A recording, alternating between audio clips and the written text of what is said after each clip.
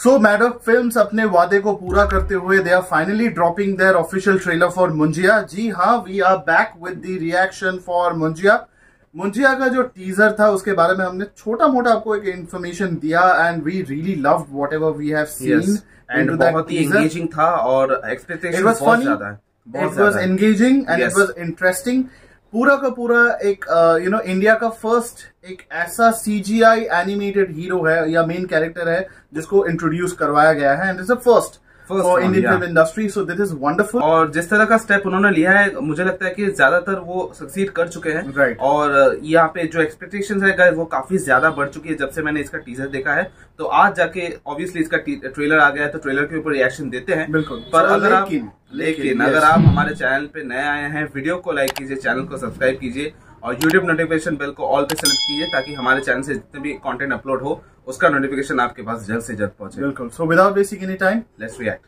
Chetukwadi श्रापित है वो जगह। और वो पेड़ भी जहाँ मुंजिया की अस्थियाँ गड़ी कहते हैं किसी मुन्नी से वो शादी करना चाहता था।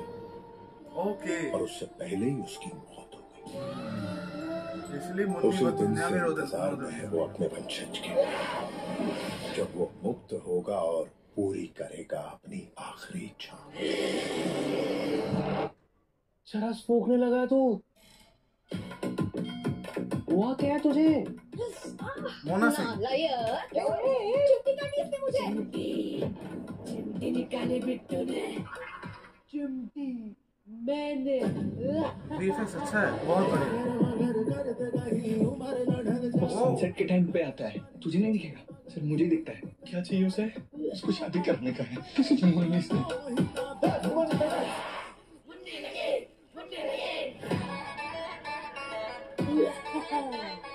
तो वो नहीं देख पा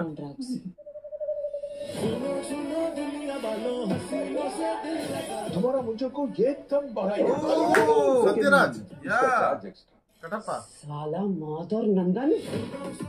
हमारे गाँव की है। उस गाँव नहीं जाना। कब तक रोकोगे उसे? भूल गए क्या? पिछली बार गए थे तो क्या हुआ था?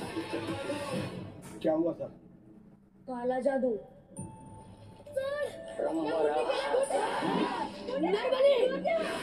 मैं मुन्नी के लिए कुछ भी कर सकता हूँ। पास दोस्तों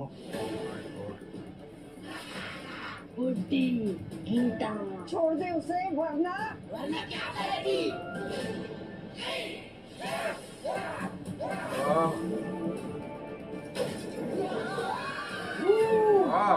अच्छा है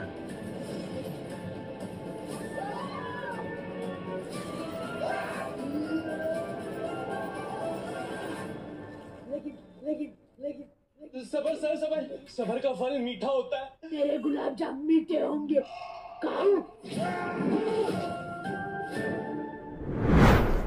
गाइस अगर कोई horror Indian Indian horror film के बारे में अगर बात करें सो ये वो फ़िल्म है जिसका मास इफ़ेक्ट है। यू you नो know, एक मास फ़िल्म बनाई है। So it is that mass horror film इस फ़िल्म में सब कुछ है। जो तड़का आपको हॉरर वाला चाहिए इसमें सब कुछ है। थ्रिल है Comedy और। जंप स्केयर्स है। कॉमेडी है फॉर अगर स्पेशलाइज करें हॉरर कॉमेडी में ये एक ऐसी फ़िल्म है जिसको जिसके मतलब किस्मत में लिखा हुआ है ब्लॉकबस्टर यस गाइस ये इस साल की कुछ ऐसी मतलब फ़िल्में फ़िल्मों में से एक बन जाएगी जो सरप्राइज़ हिट कहते हैं। मतलब आपको थिएटर में देखने में मज़ा आएगा। सरप्राइज़ सी सरप्राइज़ हिट उस फ़िल्म को कहते हैं जिसके बारे में कोई नोशन ही नहीं है। पर- जैसे अ, Yeah. फ़िल्म जैसे हुआ कि जरा हटके जरा बच के श्रीकांत श्रीकांत ये दोनों फ़िल्में जरा हटके जरा बच के और श्रीकांत ये बहुत ही कंटेंट ड्रिवन फ़िल्म है बहुत ही एक्टिंग ड्रिवन फ़िल्म है। Yes. तो इसके लिए फिर भी जो मार्केट की जो हालत थी रिसेंटली बॉक्स ऑफ़िस की जो हालत थी पब्लिक को या फिर जो क्रिटिक जो फोकास्ट होते हैं बॉक्स ऑफ़िस फोकास्ट जो करते हैं उनको भी इसका आइडिया नहीं था कि ये दो दो, फिल्म- दो फ़िल्में हिट होंगी। या तो कोई ज़्यादा यहाँ पे प्रोडिक्शन भी ज़्यादा नहीं कर पाए कोई। बट यहाँ पे दिख रहा है कि this film is made to be a blockbuster yes यही मैं बताना चाह रहा हूँ कि यहाँ पे uh, बहुत दिन हो गए गए सब लोग एक्शन फ़िल्मों के बारे में बात करते हैं। कॉमेडी हॉरर कॉमेडी फ़िल्में ज़्यादातर बहुत दिनों से बॉलीवुड में आई भी नहीं Right, है। Right, right. और uh, ये कह सकते हैं कि ये India first horror comedy franchise है। तो इसमें स्त्री भी है इसमें भेड़िया भी आई थी। भेड़िया से जो एक्सपेक्टेशंस थी उसने उसने काम किया था मतलब अब एवरेज जैसा बिज़नेस यहाँ पे किया था। Right. पर मुझे लगता है कि ये जो डायरेक्शन में जो मेकर्स लेके जा रहे हैं वो काफ़ी अच्छा है। एक एक फ़िल्म के साथ एक एक कैरेक्टर यहाँ पे इंट्रोड्यूस करवा रहे हैं। बहुत ही बढ़िया बहुत ही बढ़िया सब कुछ बहुत वंडरफुली प्रेजेंट किया Yes. है दी एक्टर्स यू नो आपको सिर्फ़ अभी एक्टर्स चाहिए। You don't need superstars you don't need heroes और हीरोइंस और यू नो जो 60 70 करोड़ लेते होंगे बिकॉज़ अभी ऐसे A list so called A list actors हैं जिन्होंने अपने फिल्म्स को शेल्फ होते हुए देखा है Yes. बहुत सी ऐसी फ़िल्म है जो ओवर बजट चली गई थी जस्ट बिकॉज़ उनका यू नो पर्टिकुलर जो उनका जो रेम्यूनरेशन है वो बहुत ज़्यादा था Yes, बहुत लोगों ये पे कट करने के लिए कहा गया है बॉलीवुड में ये खबरें So- आ रही हैं कि बहुत सारी फ़िल्मों फ़िल्में शेल्फ हो गई हैं हम्म। बहुत सारे एक्टर्स के वहाँ पे जो फ़ीस है उसे डिडक्ट किए जा रहे. हैं तो यहाँ पे इस तरह की फ़िल्में काफ़ी काम आएँगी बॉक्स ऑफ़िस पे। बिल्कुल क्योंकि हम लोग शर्वरी वाघ अभय वर्मा ये लोग शर्वरी वाघ फिर भी वो बहुत सारी फ़िल्म कर चुकी हैं एज ऑफ़ नाउ बहुत सारी नहीं लेकिन कुछ न्यूमरस lineup हैं है Yeah. But if you talk about Abhay Varma we whom we have seen in most ads Yes. जो एडवर्टाइजमेंट जो टेलीविज़न में आती है so it is quite you know is very good actor जिस तरीके से उनके एज में जैसे उनको करना चाहिए you know is a good good looking you know और मुझे लगता है कि इस तरह की अ, इस इस जॉनरा के ऑडियंस काफ़ी ज़्यादा हैं Right. और अ, अगर अच्छी तरह से बनाई गई तो गाइस बहुत अच्छी कलेक्शन कर पाएँगे क्योंकि आप सबको पता है कि स्त्री जब निकली थी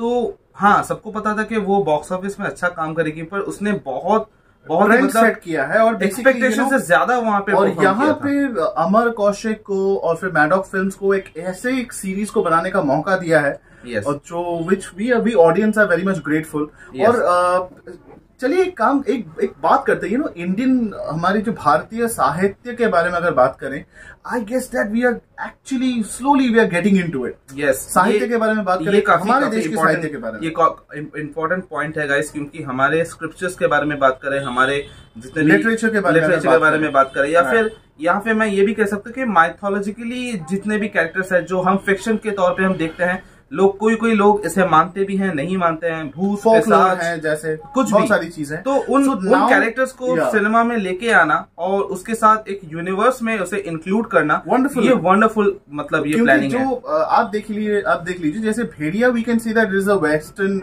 concept वाले yeah. लेकिन वेयरवुल्फ का जो कॉन्सेप्ट लेकिन हम लोगों ने यहाँ पे उसको यूटिलाइज किया है Yes. फिर हमारे यहाँ पे विचेस जो फिर चुड़ैल या डायन यक्षिनी। इन- यक्षिनी ये- इन सारे बहुत सारे और जो कथाओं में जो कही जाती है yeah. या फिर दादी नानियाँ जो हमें बचपन में जो कहानियाँ सुनाती थी उसको भी यूटिलाइज किया गया है then Munjya this particular character जो एक फोकलोर का एक एक हिस्सा भी है जो बेसिकली एक लेखन है जो मिस्टर योगेश चंडीगढ़ ने इस कहानी को जिन्होंने लिखा था उसके ऊपर बेस्ड है ये. फ़िल्म तो देख सकते हैं कि हमारे पुरानी कथाओं की अ, के ऊपर बेस्ड कई की गई फ़िल्में बन रही हैं जो मैडॉक फिल्म्स ने इसका जो वो सूत्रधार है बेसिकली जिन्होंने इस चीज़ का इनिशिएशन किया है। And we you know we do appreciate Maddock Films and Dinesh Vijan ji and Amar Kaushik production houses हैं जो कुछ अलग करना चाहते हैं और मुझे लगता है कि audience will love that audience अगर थोड़ा सा यहाँ पे सपोर्ट दिखाएगा ऐसे आपको कुछ और ही देखने को मिलेगा क्योंकि. हम बॉलीवुड हॉलीवुड के कितने सारी फ़िल्में देखे हैं। घोस्ट बस्टर्स नाम की जो फ़िल्म फ़िल्म रिसेंटली निकली थी जो जो 80s की एक फ़िल्म है एक pop culture film pop culture film है उसे फिर से रीमेक किया गया उसके उसे अच्छा बॉक्स ऑफ़िस में वहाँ पे रेस्पॉन्स मिला.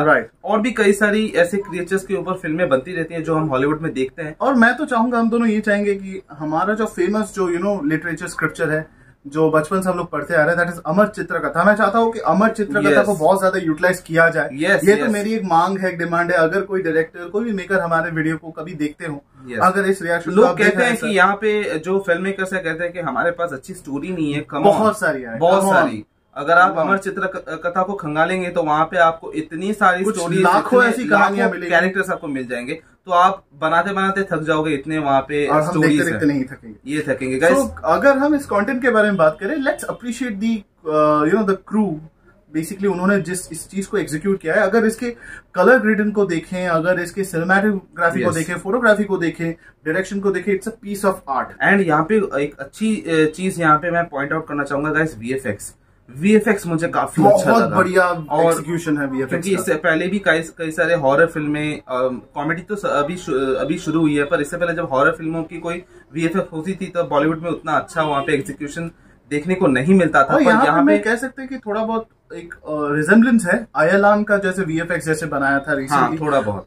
उस लेवल का है। उस लेवल का है और अगर हम हॉलीवुड के साथ कंपेयर ना करें अपने वीएफएक्स कंपनी के बारे में बात करें अपने प्रोडक्ट के बारे में बात करें तो we can easily see that there is a Yes. Proper nice good and very proud resemblance मुझे लगता है कि ये ये हॉरर कॉमेडी फ़िल्म है पर यहाँ पे कॉमेडी को थोड़ा सा यहाँ पे दबाया गया है और थोड़ा सा यहाँ पे हॉरर क्वेश्चन को थोड़ा इंक्रीज किया इंक्रीज किया is good which is very good क्योंकि एक डायरेक्टर ने एक चीज़ को समझा है कि ऑलरेडी एक जो गोलम जैसा देखने वाला जो कैरेक्टर है जो इंडिया फ़र्स्ट सीजीआई. एक्टर है Yes. वो ऑलरेडी थोड़ा सा बचपन जैसा उसके उसमें बचपना है एक बच्चे जैसा एक टीनेजर जैसा कैरेक्टर एक दिखाया जा रहा है। So it can anyway turn out to be a child you know children's film तो इसको थोड़ा बस उसके शिफ्ट को चेंज करके हॉरर पे थोड़ा ज़्यादा प्रेशराइज कॉमेडी है लेकिन उतना ज़्यादा नहीं। और अडल्ट ऑडियंस जो है जो बड़े ऑडियंस है उनको भी एंगेज करके रखेगा। बहुत ज़्यादा। ये काफ़ी अच्छी बात है बहुत ज़्यादा। So let's talk about the crew cast के बारे में पहले सबसे पहले हम लोग बात करते हैं। We as we said that we have Sharvari Wagh Abhay Varma and Mona Singh and surprisingly Sathyaraj sir भी हैं इस Yes. फ़िल्म में। And he is portraying a good character बहुत Yes. अच्छा लग रहा है। Yes, it's a yes. Refreshing change after so many years Yeah. To see him in Hindi film wonderful तो इस फ़िल्म को जैसे हमें पता है कि इसको डायरेक्ट किया आदित्य सरपोदार ने इसको प्रोड्यूस किया दिनेश विजन और अमर कौशिक ने। ये कहानी इस लेखन के बेसिकली ये योगेश चंदेकर लेखन के ऊपर है। जो योगेश चंदेकर योगेश चंदेकर जी ने इस, इस कहानी को लिखा था। उसके ऊपर बेस्ड है ये फ़िल्म Yes. और music is by Sachin ji Sachin wonderful again good combination Yes. right and then uh, the lyrics are done by Amitabh Bhattacharya director of photography में we would like to appreciate Saurabh Goswami production design के लिए भी credit मिलना चाहिए। मिलना चाहिए, बहुत. बढ़िया है। That is Amit Rai and Subrata Chakraborty you guys have done a great job Great job, great great job और uh, अगर we talk about costume designing वो तो अच्छा ही है कॉस्ट्यूम डिज़ाइनिंग में Sheetal Iqbal Sharma background music is by Justin Varghese और ये जो basically people who were behind the camera and who were setting up the entire setup ताकि the world of Munjya looks scary eerie cute nice और- and और fun उनका काम यहाँ पे बहुत ही काबिल बहुत है बड़ी तरीके से इसको एग्जीक्यूट किया। Yes, बहुत ही बढ़िया लग रहा है ये content we are extremely happy Yes, guys. Extremely happy with कुछ नया देखने को मिला। बहुत दिनों से हम सिर्फ़ एक्शन या फिर कुछ और ही कंटेंट निकल रहे हैं। जो चल नहीं रहा है। चल नहीं रहा है। आपको एक्सपेरिमेंट करना पड़ेगा और आपको भी एज अ ऑडियंस ये आपकी ज़िम्मेदारी है कि अगर आप चाहते हैं कि इंडियन फ़िल्म इंडस्ट्री में कुछ अलग हो स्पेशली बॉलीवुड में तो आपको इन जैसी फ़िल्मों को सपोर्ट करना Absolute. है एंड मुझे नहीं लगता कि ये रुकने वाला है। इसके बाद और भी कई सारी फ़िल्में आएँगी इस इस यूनिवर्स से और बहुत सारे कैरेक्टर्स और भी इंट्रोड्यूस होंगे। एंड वी और will welcome that with open arms yes guys ये फ़िल्म रिलीज़ होने वाली है सेवेंथ जून को। आप ज़रूर जाके इस फ़िल्म को थिएटर में देखें। और हमारा रिएक्शन कैसा लगा वो आप कमेंट सेक्शन में ज़रूर जाके बताइए। वीडियो को लाइक कीजिए चैनल को सब्सक्राइब कीजिए यूट्यूब नोटिफिकेशन बेल को ऑल पे सेलेक्ट कीजिए ताकि हमारा जितना भी वीडियो हमारे चैनल पे अपलोड हो उसका नोटिफिकेशन आपके पास जल्द से जल्द पहुँचे। और इसी तरह हमारे चैनल के साथ बने रहिए। अगली वीडियो का इंतज़ार कीजिए। And till then the reaction says Jai Hind